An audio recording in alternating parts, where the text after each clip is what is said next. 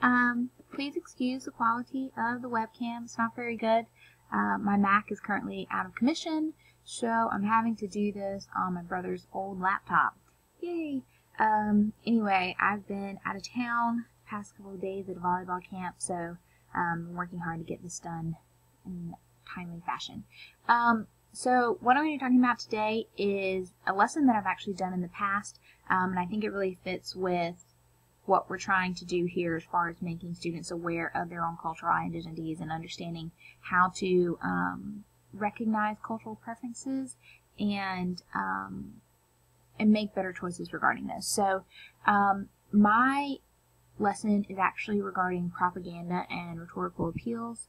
Um, go pull up my lesson plan here. So when it comes to this particular lesson, the goal is to discuss propaganda prior to reading Animal Farm. Um, it's really more of a mini lesson, and the intention is to make students aware of propaganda techniques and rhetorical appeals that are used commonly in propaganda and advertising so that when they see these things and they see these commercials on television, they see these political campaigns, they're more aware of the bias and the spin that exists which will then make them a little more knowledgeable about okay, what are they hearing as the audience? What are they intended to hear? Um, and dissecting that intended message and then making better critical choices based on that. Um, so anyway, the unit begins, we do um, an actual propaganda rhetorical appeals presentation. I can't find my other presentation. I think it's on my school account, which I no longer have access to because I'm switching schools.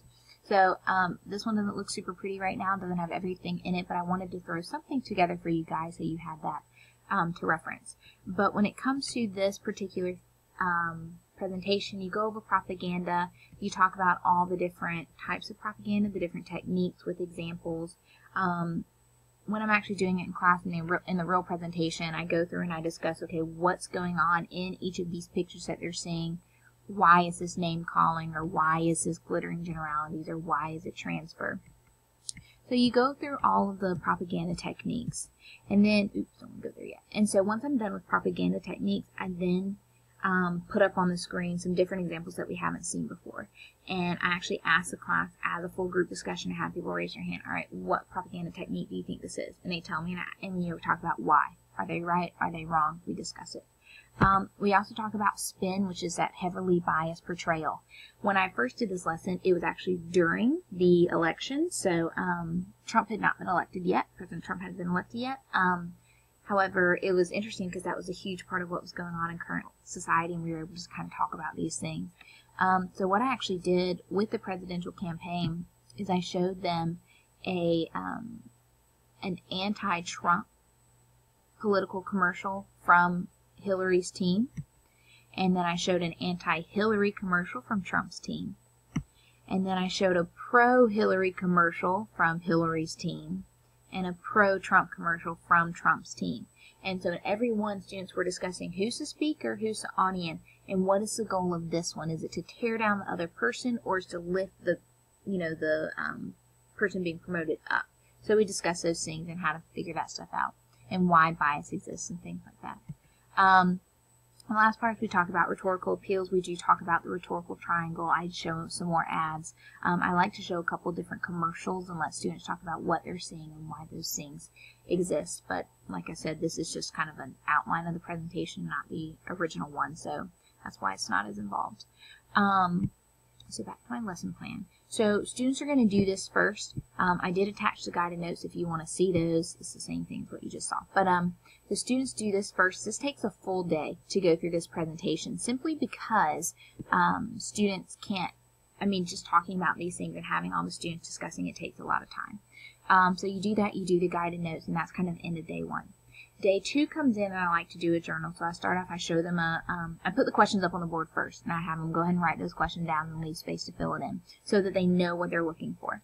Um, then I like to show them a commercial. I usually show an ASPCA one because it's usually sad. Um, Sarah McLachlan singing In the Arms of an Angel in the background, someone talking, sad doggy eyes, that kind of thing. Um, I show the commercial to students and then I have them go back and on their own they answer these questions about the speaker, the audience, the message, and then what are some of the propaganda techniques they saw, what rhetorical appeals were used.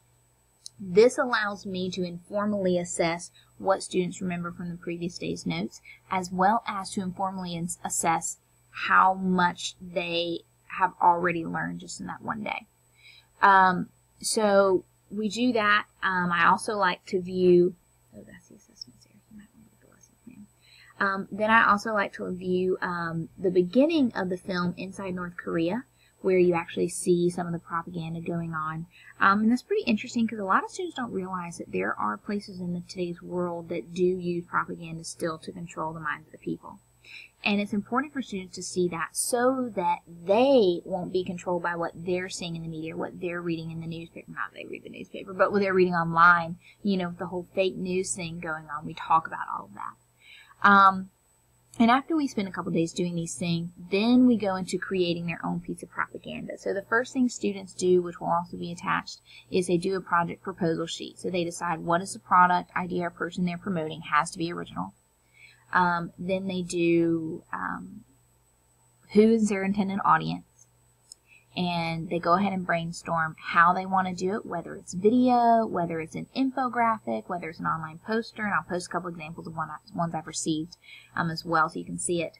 Um, and then it's um, um, how do they plan to promote these things. So we do that proposal sheet. That gives me time to assess um, I, and it is a formative assessment, but it gives me time to say, okay, no, that's not a good idea, or that's not exactly um, the name calling technique. How can you change it to make it more obvious?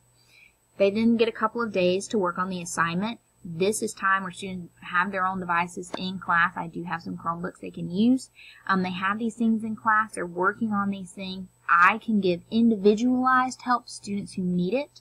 Um, it's also time when I can help students navigate online tools, whether it's video or, um, you know, making like um, info. There's a website for infographics. Um, but that gives me time to help them personally so that we can answer questions as we go. And then the final part, they turn in their propaganda and they also complete a um, propaganda. Here's the assignment sheet. Um, sorry, they turn in their propaganda project and they also complete this propaganda reflection as part of their project where they say, you know, the speaker, um, the audience, the message, the techniques used, why those are effective, um, the rhetorical appeals used, why they're effective. I find that this, by requiring them to do a reflection, it makes sure that they do everything right on the actual project. So they're filling out the reflection, they're like, they're saying, oh crap, I didn't use all three. They go back and they figure out how to add one. Or if they say, well, I use name calling, but they don't actually know how they use name calling, then they know that they didn't do it right. So hopefully that solves the problem before I get them. Rubric is really simple. Either you have it or you don't. That's how it's graded because we've spent all this time. It's either there or not there. The rhetorical appeal, I mean, sorry, the reflection gives me the opportunity as an assessor to go and see, all right, they say they have all three. They say this is name calling. Oh, well, that's why they got confused because that's not actually name calling. And that's where I can take the points away and it helps me know what exactly they did wrong. Um, so that's pretty much the assignment. After we do this, we go into, we read Animal Farm. We also do a DBQ with propaganda. That's usually going on during this propaganda mini unit, but I did combine this into like a five day span in case that's how you wanted to use it. Um, but the great thing about uh, the propaganda um, project and the propaganda mini unit is that students start thinking more critically as we go. So students will come up to you and they'll say, "Oh, Miss Whatley, have you seen the new blank commercial?" Like, "No, tell me about it." And so then they say, "Oh, well, they use whatever, and they're starting, you know, whatever technique." And I have students come in and they say they're sitting at home watching television with their parents and they tell their parents, oh my gosh, that was name calling right there. And so they're using it and they're recognizing it. And so they're becoming more critical viewers and more critical citizens, which is what we all want. Anyway, thank you.